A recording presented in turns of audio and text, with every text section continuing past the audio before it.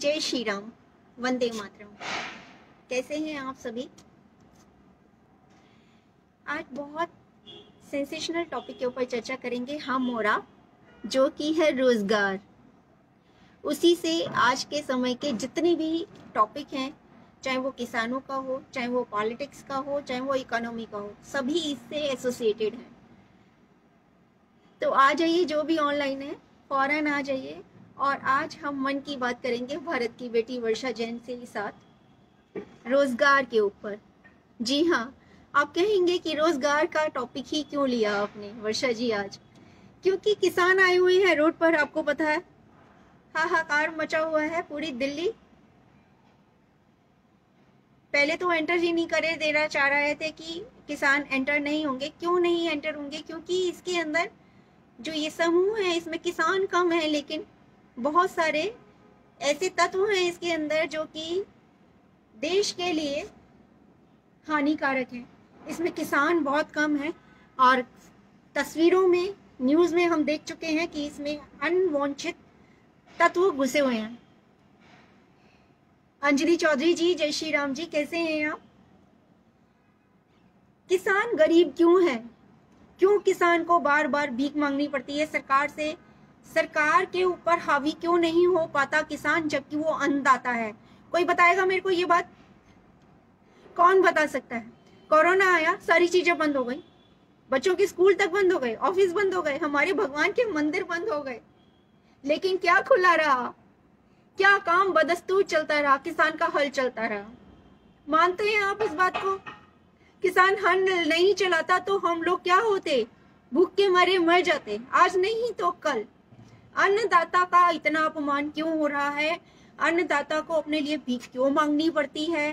क्या अन्नदाता का ही ये मकसद है कि वो इतना बवाल कर रहे हैं, सड़कों पर निकले हैं? उसमें कितने किसान हैं, कितने भ्रष्टाचारी लोग हैं, मिले हुए हैं, कितने पॉलिटिशियंस हैं उसके अंदर? क्या ये पॉलिटिक्स खेली जा रही है? क्या किसान सच में ये चाहते हैं? क्या रोज़गार एक ऐसी चीज़ है जो किसान नहीं पैदा कर सकता? वो किसान जो कि हल चलाकर हम सबका पेट भर सकता है। वो किसान क्या रोज़गार पैदा नहीं कर सकता? बताइए आप। जवाब मांगती है भारत की बेटी। मैं तो कहूँगी कि दुनिया के सारे रोज़गार सिर्फ़ और सिर्फ़ किसान पैदा करता है। जी हाँ अगर किसान नहीं होता तो कोई रोज़गार नहीं होता। बिना अन्न उपजाए ना तो हल बनते, ना लोहारों का काम चलता, ना कोई कारखाने बनते। जो आप पिक्चर देखने जाते थे ना कोरोना से पहले, उसके अंदर पॉपकॉर्न लेकर खाते थे तीन सौ रुपए का पैकेट तीस रुपए किलो बिकता है वो किसान का। मक्का, जानते हैं ना आप? और किसान तब भी रोड पर है, तब भी भीख मांग रहा है, तब भी किसान न्याय के लिए गुहार लगा रहा है, चाहे अपनी मर्ज़ी से, चाहे किसी के बहकावे से, चाहे किसी की बातों में आकर। क्यों है ऐसा? क्यों किसान इतना लाचार है? क्यों है किसान लाचार? बताइए। हम और आप एक वोट देते हैं। कोई आकर खड़ा हो जाता है? एक व्यक्ति आके खड़ा हो गया। उसने कहा, मैं ये हूँ। मेरा बाप इतना बड़ा पॉलिटिशियन था। अब चाहे जेल में बैठा है, क्या फ़र्क पड़ता है? लेकिन मैं देश को बहुत आगे ले जाऊँगा। किस बेसिस पर? मैं रोज़गार दूँगा। एक व्यक्ति जो कि सिर्फ़ तीस बत्तीस साल का है, वो दुनिया को, पूरे भारतवर्ष के 12 करोड़ लोगों को, बिहार की पूरी जनसंख्या को आगाह करता उसको बुलाता है, आ जाओ मेरे पास। मैं तुम्हें रोज़गार दूँगा, तुम मुझे वोट दो। मैं तुम्हें रोज़गार दूँगा। कितना आसान है बेचना पॉलिटिक्स को भी। वोट को खरीदना कितना आसान है, मैं तुम्हें रोज़गार दूँगा। तुम मुझे वोट दो, मैं तुम्हें रोज़गार दूँगा। अरे, रोज़गार ना हुआ पेपर वेट हो गया। एक पेपर वेट बेचा था, एक व्यक्ति ने। उसने कहा, मैं ये पेपर वेट बेचता हूँ। अरे पेपर वेट क्या पेपर वेट बेचेगा? क्या चीज़ क्या है पेपर वेट मेरा हाथ पेपर वेट है। पेपर पर आप हाथ रख देंगे तो पेपर नहीं उड़ेगा। क्या काम करता है पेपर वेट पेपर को उड़ने से भी रोकता है। वो काम आपका चश्मा कर सकता है, आपका मोबाइल कर सकता है, आपकी शाही की दवात कर सकती है, लेकिन फिर भी पेपर वेट बिकता है, वो बेचता है, उसकी कंपनी स्थापित होती है, लोग बाग उसको फाइनेंस करते हैं, उसमें पैसा लगाते हैं, वो शेयर बेचता है और बहुत बड़ा मुनाफा कमाता है। क्या कर कर? पेपर वेट बेचकर। बेचना आना चाहिए, हर चीज़ बिकती है। और सबसे बड़ी बात जिसको बेचेगा उसमें कोई नुक्स नहीं निकाल सकता प्रोडक्ट कभी फेल नहीं हो सकता, उसमें कोई खराबी नहीं आ सकती। चीज़ ऐसी बेचो, इसकी आवाज़ कम कर दीजिए प्लीज़ हेलो आवाज़? तो कोई भी चीज़ को बेचना आना चाहिए, चाहे वो वोट हो, चाहे पॉलिटिक्स हो, चाहे वो आपकी आवाज़ हो। बिकाऊ होनी चाहिए, उसके अंदर इतनी ताकत होनी चाहिए। गंजे को कंघी बेचने वाली बात हो गई पेपर वेट बेचना। गंजे को कंघी बेचने वाली बात हो गई, ये कहकर कि मैं तुम्हें रोज़गार दूँगा, तुम मुझे वोट दो।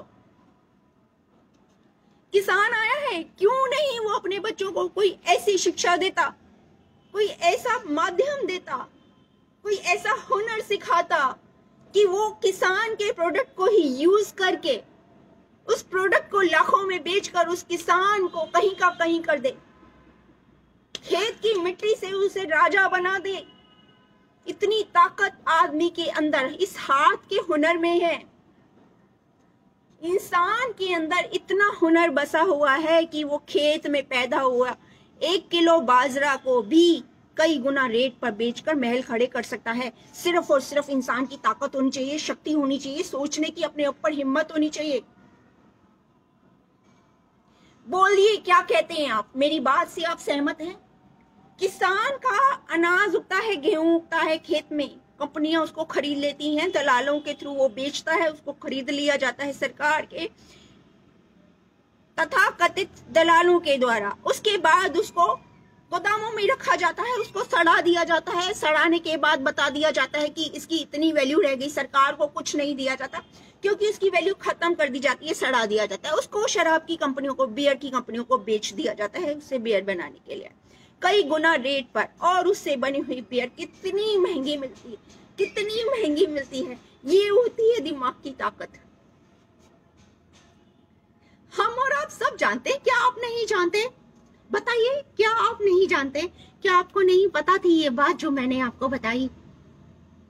क्या आप में से किसी ने पॉपकॉर्न खाए हैं? जी हाँ सिनेमा हॉल में बैठकर पॉपकॉर्न कितनों ने खाए हैं? बताइए।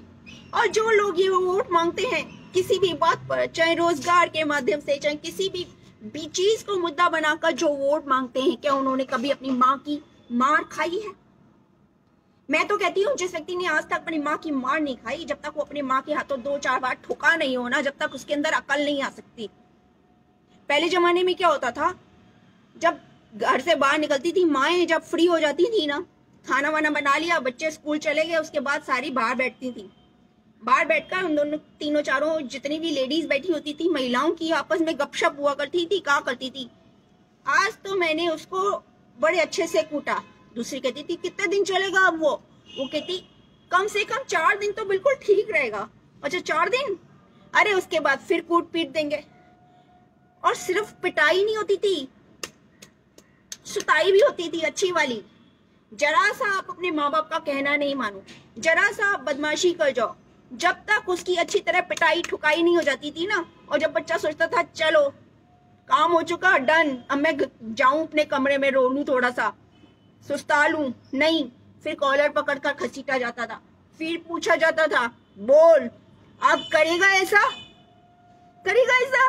वो कहता था, नहीं, मेरी माँ की कसम कभी नहीं करूँगा।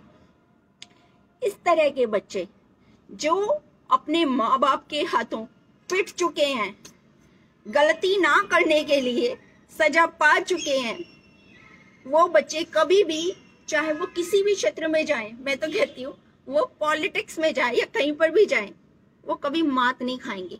ना कभी दुखी होंगे, ना किसी और को दुखी करेंगे, क्योंकि उन्होंने इतना दुखी होकर देख चुका है पहले से और ये जो नए नए रंग रूट आ रहे हैं ना नेपोटिज्म की औलाद, परिवारवाद की औलाद, कि मेरा बाप था इतना बड़ा नेता सीएम था, चल वो जेल में है तो क्या हुआ? मैं तुम्हें रोज़गार दूँगा, आ जाओ। मुझे वोट दो। नीतीश कुमार, मैं तुझे दो दिन की सीट पर नहीं बैठने दूँगा। मेरे को सिर्फ़ कितने वोटर चाहिए? कितने लोग चाहिए? एक, दो, तीन तो ये सब इन सब की बातों में बिल्कुल नहीं आना। एमपी में हो चुका, बिहार में हो चुका। अब जहाँ जहाँ भी रह गए हैं वहाँ के इलेक्शन में भी जो भी लोग हैं थोड़ा सा अपना दिमाग यूज़ करिएगा। जो भी नए रंग रूट खड़े हो रहे हैं, परिवारवाद की औलाद हैं, या फिर वोट खरीद रहे हैं, आपकी भावनाओं से खरीद रहे हैं, वो तो पैसा भी नहीं दे रहे, वो तो खरीद रहे हैं भावनाओं से। वो देखते हैं हाँ इसको किस चीज़ की ज़रूरत है? अच्छा लोगों के पास रोज़गार नहीं है, इन लोगों को इतना नहीं पता कि रोज़गार पैदा करने के लिए हाथ में हुनर हो, कोई डिग्री की ज़रूरत नहीं होती। बड़े बड़े जितने भी धन्ना सेठ है ना, जितने बड़े लेकर बैठे हैं, जो बड़ी बड़ी रियासतें लेकर बैठे हैं, उन्होंने कोई डिग्री नहीं ले रखी। सिर्फ़ अनुभव उनका, उनकी मेहनत और उनकी पैसा कमाने की शक्ति, ताकत, उनकी सोच, उनको यहाँ तक लेकर आइए ये बात वो आपको कभी नहीं बताएँगे। तो कभी भी किसी की बातों में आकर अपनी दुखती रख को छिड़ने मत दीजिएगा। कि उन्होंने आपकी दुखती रख छेड़ ली, कि इन महिलाओं के लिए बात कर दी कि हम महिलाओं को उद्धार करेंगे। महिलाओं के लिए ये नहीं होने देंगे। महिलाओं का वो नहीं होने देंगे। और आप हमें वोट दो। क्यों? महिलाओं में कम ताकत है। किसी से कम समझ रखा है क्या हमको आ जाओ जरा मैदान में। दस को एक एक जना देख लेगा। है ना? तो अपने किसी भी छोटी सी मानसिक ताकत, जो आपकी एक कमज़ोरी होती है, उसको किसी की ताकत मत बनने दीजिए। अपने ऊपर भरोसा कीजिए। सामने वाले को देखिए, परखिए, जानिए और फिर उसके बाद उस पर भरोसा करने की सोचिए। जी हाँ सिर्फ़ सोचिए, भरोसा एकदम से मत कीजिए। यही मैं कहना चाह रही हूँ। और जितने भी न्यूज़ चैनल दिखा रहे हैं मीडिया खबरें दिखा रही है, किसानों का दिखा रहे हैं, भड़का रहे हैं बेकार रहे हैं, किसी की बातों में बिल्कुल मत आइएगा, क्योंकि जब तक आप अपने घर में ना देखें, अपने परिवार में ना देखें, जो हुआ है देश में, उसके लिए ना देखें, देश की इकोनॉमी का ना देखें, देश की बीमारियों का ना देखें। समझें, क्या हो रहा है, क्यों हो रहा है, क्या कारण है, किस वजह से हुआ, इसकी रोकथाम कैसे हो सकती है, क्या मैं भी कुछ कर सकता हूँ? सब कुछ जानकर, समझकर, उसके बाद ही कोई निर्णय लीजिएगा। तो देश इतनी बड़ी बड़ी समस्याओं से जूझ रहा है। हम लोग इतनी बड़ी बड़ी समस्याओं से जूझ रहे हैं। जूझे हैं और जूझते भी रहेंगे लेकिन खुशी खुशी क्योंकि हमें अपने आप पर पूरा भरोसा है। अपनी ताकत पर अपनी सोच पर और अपनी विद्वता पर अपनी अकल पर अपनी सम, समझदारी पर। वो भरोसा हमेशा कायम रखिए। और दुनिया फतेह कीजिए। दुनिया फतेह करने का मतलब ये नहीं है कि आप नेता बन जाएँ और नारे लगाएँ और सबको अपने पीछे चलाएँ, ऐसा बिल्कुल भी नहीं है। दुनिया फतेह करने का मतलब है कि हम खुश हैं, हमारे आसपास हम खुशियाँ फैलाते हैं। हम किसी को देखकर ना दुखी होते हैं, ना किसी को अपने को दुखी करने देते हैं। सिर्फ़ इतना ही हमको करना है और बहुत आसान है ये सब। अमिता सक्सेना जी, जय श्री राम जी, कैसी हैं आप? और कौन आया है? फिजन पटेल जी, जय श्री राम जी। गुरविंदर सिंह जी सतरीकाल जी, आज तो बहुत बड़ा पर्व है। और आप सबको गुरु पर्व की बहुत बहुत बधाई हो। आज गुरु पूर्णिमा भी है और गुरु नानक देव जी, जिनकी सभी बातें, उनकी एक एक बात पर हम चलने की कोशिश करते हैं। उनकी राहों को देखते हैं और उनके जैसा बनने की कोशिश करते हैं। आप सबको बहुत बहुत बधाई हो गुरु पर्व की। रेणु गुप्ता जी, जय श्री राम जी, ज्योतिष लाल सिंह जी, जय श्री राम जी, एम डी तैयब जी, जय श्री राम जी, डॉक्टर कीर्ति प्रताप सिंह जी, जय श्री राम जी। थैंक यू जी। कीर्ति प्रताप सिंह जी, आज मौसम बहुत अच्छा हो गया क्योंकि गर्मियाँ ऑलमोस्ट फुल्ली तरह चली गई हैं। हल्की हल्की सर्दी का आगाज़ हो गया है और ये मौसम मुझे बहुत अच्छा लगता है। मुझे गर्मियाँ बिल्कुल नहीं पसंद। बाकी सारे मौसम पसंद हैं। किसान हमेशा अपने पैर पर कुल्हाड़ी मारता है। क्यों मारता है? किसान से बढ़कर कुछ भी नहीं। किसान है तो दुनिया है। उसकी वजह से ही सारे उद्योग धंधे हैं। किसान ना हो तो सारे उद्योग धंधे बंद हो जाएँ। सारी मशीनरी पर ताला लग जाए। सारी कंपनियाँ बंद हो जाएँ। कुछ भी नहीं बचेगा। इंसान को ये बात समझानी पड़ेगी, उसे किसी से कुछ मांगना नहीं है। वो तो दाता है, उसे तो सिर्फ़ देना है, और सबको उसके पैर पूजने हैं। चाहे बल से छुआ है वो अपने सबको अपने पैर, चाहे वो कैसे भी छुआ है, उस, उसके पैर सबको छूने ही पड़ेंगे। उसके पैर छुए बिना किसी का जीवन ही नहीं है, अंधेरा ही अंधेरा है चारों तरफ़। सौरभ सिंह जी, जय श्री राम जी, कैसे हैं आप? रचना तनेजा जी, जय श्री राम जी, अनुदा राधा शर्मा जी, मेरी प्यारी बहन, जय श्री राम जी। मेरे से, मेरा ना आपका नंबर मिस हो गया अनुराधा जी। मुझे आपका नंबर चाहिए, बात करनी थी। बहुत दिनों से बात भी नहीं हुई और मुझे कुछ बात भी करनी थी। मेरे को आपका नंबर चाहिए था। गोपाल सिंह जी, जय श्री राम जी। डीसी यादव जी, जय श्री राम जी। राजीव अरोड़ा जी, कैसे हैं आप? जय श्री राम जी। करण भाई मोरीवारा जी, जय श्री राम जी। करण भाई जी, कैसे हैं? जय श्री राम अनिता राजीव मल्होत्रा जी, जय श्री राम जी, कैसी हैं बहन? कुंदन कुमार जी, जय श्री राम जी, कुंदन कुमार जी विजय लक्ष्मी बिश्नोई जी, जय श्री राम जी विजय लक्ष्मी जी, कैसी हैं प्यारी बहन? और क्या हाल है आपके बिहार में? सुनील चौहान जी, कैसे हैं सुनील जी, जय श्री राम जी, पवन कुमार जी, कैसे हैं आप? अंजलि चौधरी, मेरी प्यारी बहन, कैसी हैं आप? शमीम खान जी, जय श्री राम नमस्कार। भारत माता की जय, वंदे मातरम। आप सभी को मेरा नमस्कार। हरीश ग्रोवर जी, जय श्री राम जी। सुधीर कौर जी, सुरवीर कौर जी, सुरवीर कौर जी, सत जी बहुत बहुत बधाई है गुरु पर्व की। जय श्री राम। आपको ढेर सारी बधाई गुरु पर्व की। और क्या करा आप? सुबह से बंगा साहिब में होंगे। आप सब मेरे को बहुत मिस किया मैंने आज आपको। इसमें एक और मैंने ये देखा है। इसमें लिखा है, देश का स्वाभिमानी किसान खेतों में है। आपके किसान बुराड़ी ग्राउंड में, कांग्रेस के किसान सिंधु बॉर्डर पर। ये क्या मतलब हुआ? किसान को भी बांट दिया? देश का स्वाभिमानी किसान खेतों में है, आपका किसान बुराड़ी ग्राउंड में है और कांग्रेस का किसान सिंधु बॉर्डर पर। ऐसा कैसे हो सकता है? ऐसा कैसे हो सकता है? ऐसा तो हो ही नहीं सकता। ऐसा होना तो पाप है। तो इस तरह की बातें, मुलाकातें ढेरों आएँगी। बहुत कुछ सुनेंगे आप दुनिया सुनाएगी लेकिन विश्वास किसका करना है? अपने दिल और दिमाग का। खबरों का नहीं। अच्छा मैंने ना एक कहानी पढ़ी थी बहुत अच्छी कहानी। उसमें ना लठ चलते हैं। और कई लोग तो ना लट्ठों की भाषा ही जानते हैं। जैसे मैंने बताया ना आपको मार पिटाई की भाषा जो माएँ करा करती थी मारा कूटा करती थी बच्चों को। लेकिन लठ वाली एक कहानी सुनाती हूँ। एक एक गाँव था, उसमें जाने आने का एक रास्ता था।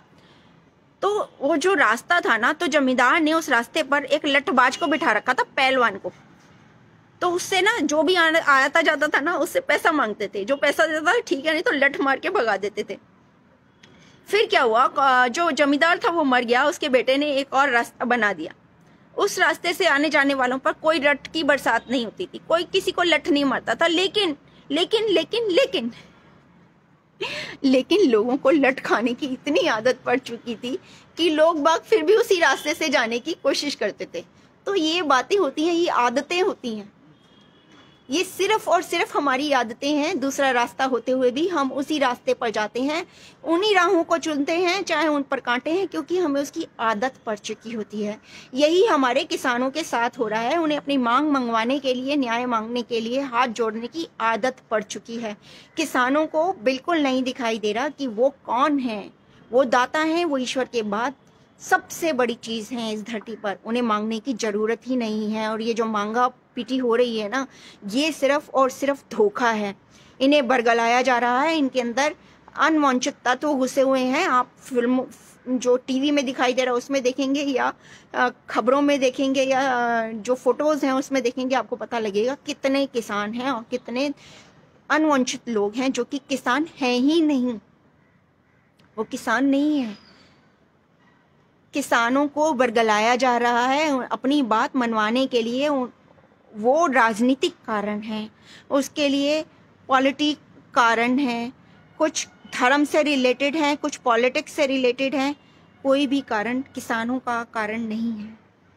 वो आप भी जानते हैं, हम भी जानते हैं। क्यों कर रहे हैं, कैसे कर रहे हैं, ये भी जानते हैं। क्या होगा, क्या नहीं होगा, ये भी जानते हैं। जब अंजाम पता है तो फिर क्या डरना? तो दूसरा रास्ता चुनिए। मैं तो कहती हूँ, अगर मेरे किसान भाई भी ये देख रहे हो तो फ़ौरन सचेत हो जाएँ और ये जान लें कि वो जिसका साथ दे रहे हैं, जिसकी आवाज़ पर चल रहे हैं, वो आवाज़ उनके फेवर में नहीं है। तो बहुत अच्छा होगा। विश्व जी विश्व प्रकाश जी विष्णु प्रकाश जी, विष्णु प्रकाश जी, जय श्री राम जी, जय हिंद, जय भारत। हरीश ग्रोवर जी, जय श्री राम जी और कौन रह गया? विवेक राज जी, विवेक राज जी, कैसे हैं आप? जय श्री राम जी। और कौन है? इमरान जी इमरान जी, आदाब। धन्यवाद, जय श्री राम। आदाब जी। सूर्य राणा जी नमस्कार, कैसे हैं आप? बहुत खुशी है आप सबसे मिलकर और बहुत अच्छा लगा। शाम हो गई है और मेरे सामने जो ये मंदिर है, देखिए, बुर्ज दिखाई दे रहे हैं आपको। लक्ष्मी नारायण मंदिर है, ये बहुत ही शानदार। और ये जो पीछे है, ये जो दिखाई दे रही है, येलो कलर की बिल्डिंग, ये ब्रह्म कुमारी इसका आश्रम है। और लक्ष्मी नारायण मंदिर के साथ में जैन मंदिर है। और ये जो ब्रह्म कुमारी इसका आश्रम है, इसके साथ वाली बिल्डिंग जो है, ये आर्य समाज मंदिर है। तो सभी भगवान, सभी देवता इस समय मेरे आजू बाजू खड़े हैं। और यहाँ से गुरुद्वारा नानक प्याऊ भी ज़्यादा दूर नहीं है। तो गुरुदेव नानक जी भी मेरे साथ ही हैं। तो सारे जब प्रभु मेरे साथ हैं, आप लोग मेरे साथ हैं तो मेरी वाणी में क्या कटुता हो सकती है? कुछ गलत बोल सकती हूँ मैं? नहीं बोल सकती ना, सीमा बहन। कैसी है सीमा बहन? और ये हैं भागवत गौतम जी। भागवत जी कैसे हैं आप? जय श्री राम जी। तो भजनों की आवाज़ मेरे कानों में गूंज रही है मंदिरों से आवाज़ें आ रही हैं और आ, सारे ही देवता चाहे वो महावीर भगवान हो चाहे वो विष्णु जी हो चाहे वो लक्ष्मी जी हो चाहे वो ब्रह्म कुमारी आश्रम का ओम हो चाहे वो शिव जी महाराज हो सभी मेरे आजू बाजू में हैं। और मैं बहुत भागवान हूँ कि मैं प्रभु और प्रभु के बंदों के साथ इस समय हूँ। आप सभी मेरे साथ हैं। आप सब का बहुत बहुत धन्यवाद मुझे सुनने के लिए। और मेरी बात अगर आपको ठीक लगे, उचित लगे, अगर आपको लगे कि हाँ कई बार ऐसा होता है कि हमारे दिल और दिमाग पर पट्टी बन जाती है। हमें सही दिखाई नहीं देता। सामने सब कुछ सही होते हुए भी हमें सही दिखाई नहीं देता। वही हमारे भाइयों के साथ, हमारे किसानों के साथ इस समय हो रहा है। अगर आप ये बात वायरल कर सकते हैं, उन्हें समझा सकते हैं कि वो क्या है, उन्हें किसी से मांगने की ज़रूरत नहीं। हम तो उनके चरणों की धूल बराबर है। हम उन्हें क्या देंगे? हम तो उनसे लेकर चलने वाले हैं। ये बात अगर उनको पता लगे तो बहुत बड़ा उपकार होगा आप सबका। तो ज़रूर उन तक पहुंचाइए ये बात। अन्नदाता को ये बात समझानी बहुत ज़्यादा ज़रूरी है। भागवत गौतम जी, मैं क्या बताऊँ भागवत जी? मैं तो आप सबके विचार जानने के लिए यहाँ पर आई हूँ। आप सबके मन की बात को जानना चाहती हूँ। मैं तो कुछ भी नहीं जानती। मैं तो नादान हूँ। आप सब विद्वान हैं। आप बताइए, आपके आपके विचार जानने की कोशिश कर रही हूँ मैं आप। लता करोटिया जी, कैसी है मेरी बहन? जय श्री राम वंदे मातरम। बहुत अच्छा लगा आप सबने समय निकाला मुझे सुना, और अगर बात सही लगी हो, इसमें थोड़ा सा भी लॉजिक दिखाई देता हो आपको तो ज़रूर इसे शेयर कीजिएगा, ताकि शायद बहुत सारे लोगों का भला हो जाए। और रही रोज़गार की बात, मैं चाहूँ तो जंगल में भी स्वयं रोज़गार पैदा कर सकते हूँ। बिना धन लगाए। और सिर्फ़ रोज़गार ही नहीं पैदा कर सकती, उससे एक रोज़गार से हज़ारों लोग जोड़े जा सकते हैं। सिर्फ़ मेहनत चाहिए होना चाहिए और सहन शक्ति चाहिए।